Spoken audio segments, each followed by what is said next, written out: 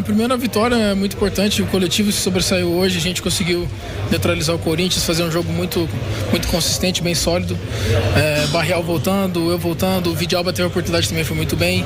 A gente conseguindo fazer o Gabriel Verão marcar mais uma vez, Matheus Pereira fazendo o habitual dele que a gente já espera, então a gente fica muito feliz. É, eu esse período fora, como eu conversei com o Sebra no particular, acredito que foi a opinião do, do, clube, enfim, me tirar um pouco dos holofotes por conta da segunda discussão, mas eu vim preparado para jogar. Não acredito que eu saí da equipe por, por mau desempenho, até porque eu me considero um jogador regular para mais, acredito no meu potencial. Mas respeito às decisões, o Kaique trabalhou muito bem, é um menino que trabalha bem sempre, então eu procurei trabalhar com a cabeça fria, muito, muito, muito ciente daquilo que eu faço, para quando tivesse a oportunidade de retornar à equipe fazer meu trabalho. É, tem uma margem para uma crescente muito boa ainda, a gente sempre está tentando lapidar as melhoras no jogo, então a gente fica muito feliz quando, quando o coletivo sobressai que é sinal que todo mundo está indo bem. Marlon, e defensivamente, hoje uma atuação bem destacada, né? Nada que chegou ali passou e tiveram bons duelos ali com o Mateuzinho. O ataque do Corinthians um ataque bem, bem chato, né, cara? O Wesley, uma turma que exige muito ali de vocês da primeira linha da, da defesa. Realmente, realmente, é, o Corinthians é um time que, apesar da situação que está passando, tem um, tem um ataque de qualidade, né? O Yuri é um atacante que se movimenta muito, é muito físico. Você tem o Garro também que tem bons remates e um bom passe, então a gente tentou neutralizar eles, porque a gente sabia dessa jogada de, de, de quina diária. E no momento que o Corinthians começou a crescer no jogo, a gente marcou o segundo gol, então foi importante também neutralizar isso, porque a gente conseguiu controlar mais o jogo, conseguiu ter mais confiança para jogar e desempenhar a partida. E que legal, né? Essa disputa aí sadia sua com o Kaique. É, o Seabra tá bem servido de lateral, né? Poucas equipes no, no futebol brasileiro têm dois bons laterais, que é uma posição tão difícil de encontrar e jogando pelo lado esquerdo.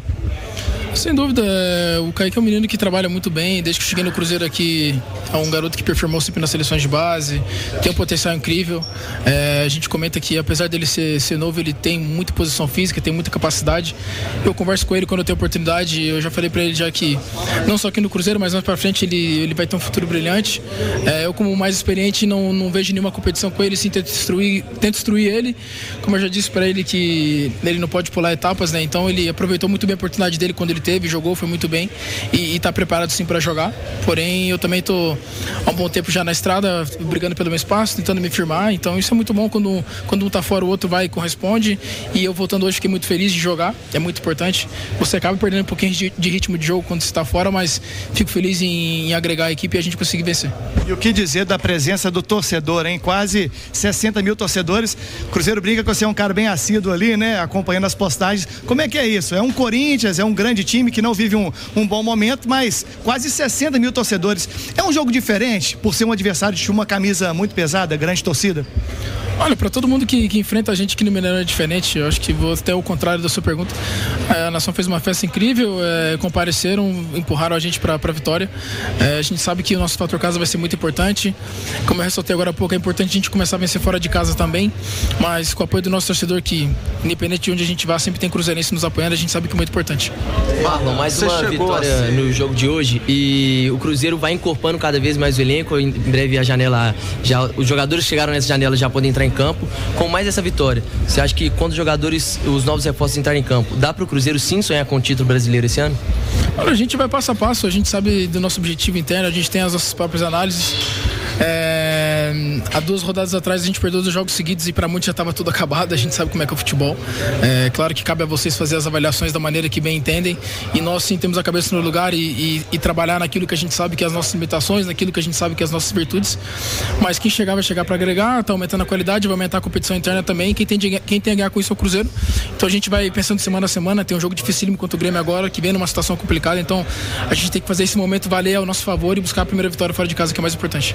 Segundo, Cruzeiro, o Cruzeiro incorporando cada vez mais o elenco, como você falou, subindo a qualidade do time. E mesmo assim, tendo os resultados, mas mesmo assim, muita gente questiona o Seabra por ser um técnico iniciante. Queria que você falasse o seu ponto de vista sobre o trabalho do Seabra e essas críticas em cima dele, mesmo tendo bons resultados.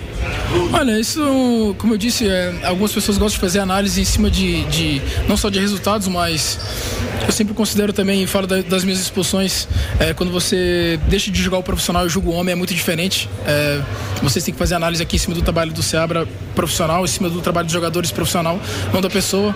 Algumas pessoas acabam levando para um outro lado, isso chateia um pouco a gente, mas o Seabra, apesar de ser um treinador jovem, já trabalhou profissional, tem experiência. Se não fosse o Seabra ano passado, a gente teria quem sabe está jogando uma Série B. Então ele é um treinador que tem um trabalho muito, muito bom, ele conhece bem o elenco, a gente respeita muito ele. E até a gente, no, no particular, acaba, acaba conversando com ele e a gente conversa e fala, olha, Sabra, se não fosse, talvez se você não fosse um treinador que tivesse tanta grife, tanto nome, e você é um cara que está começando, não teria tanta cobrança assim em cima de ti. E a gente entende, ele é um cara que tem a cabeça muito boa. Como eu disse, vocês fazem a avaliação da maneira que vocês bem entendem, e nós temos né, que ter as costas largas para receber as críticas, saber lidar com isso e fazer nosso trabalho que é o mais importante. Obrigado. Você acha que o Seabra vai receber estas cobranças dos torcedores é, até o final da temporada, por ser realmente jovem, como se fosse aquele atleta que sobe da base? Ah, você sabe qual é a máxima do futebol. Na quarta-feira você é bom e no domingo você é ruim quando você não ganha. É, se a gente não tivesse ganhado hoje, ia ser uma terceira derrota e talvez hoje ninguém prestava no Cruzeiro. Então a gente sabe como é o futebol, a gente entende o, o passional do torcedor, mas o clube em si, como administração, diretoria, comissão técnica de jogadores, tem plenitude no trabalho do Seabra, sabe o que ele tem feito. Como eu disse, é um cara que conhece do futebol muito e conhece muito o elenco, tem uma levada muito boa. Acho que além dos aspectos táticos e técnicos, é, essa gestão de grupo é muito importante. A gente tem, tem jogadores novos chegando também que vão ser muito importantes. Então, só quem tem algo o Cruzeiro, mas a gente sabe que não pode pedir paciência ao torcedor, mas o torcedor pode ficar tranquilo que está sendo feito um bom trabalho.